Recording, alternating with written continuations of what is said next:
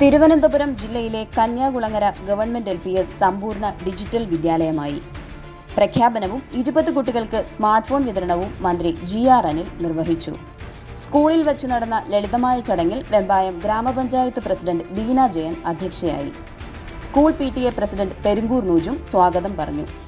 ജില്ലാ പഞ്ചായത്ത് അംഗം K V Srikanth Vembayam ഗ്രാമപഞ്ചായത്ത് വൈസ് പ്രസിഡന്റ് ജഗന്നാഥപിള്ള ബ്ലോക്ക് അംഗം ശ്രീമതി വാർഡ് അംഗം വസന്തകുമാരി പ്രഥമാധ്യാപിക വിമല മോഹനൻ നായർ നൌഷാദ് കന്യാകുളങ്ങര ഷാജഹാൻ ഷമീർ അൻസർ അഖിൽ തുടങ്ങിയവർ പങ്കെടുത്തു.